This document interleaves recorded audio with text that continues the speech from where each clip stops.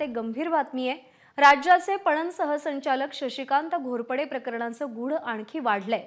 घोरपडे अजूनही बेपत्ता आहेत दोन दिवसांपूर्वी घोरपडे पुण्याहून साताऱ्याला जाण्यासाठी निघाले. मात्र पुण्याहून पुढे आल्यानंतर त्यांनी सारोळा गावाजवळ गाडी पार्क केली आणि तिथून पुढे ते चालत नीरा नदीच्या दिशेनं गेल्याचं सीसीटीव्ही कॅमेऱ्यात समोर आलंय. त्यानंतर शशिकांत घोरपडे यांच्याशी कोणताही संपर्क होऊ शकलेला नाही. त्यामुळे त्यांनी नीरा नदीत उडी घेत आत्महत्या केल्याचा संशय व्यक्त करण्यात येतोय. नीरा नदीच्या पात्रात शशिकांत घोरपडे यांचा शोध सध्या सुरू आहे.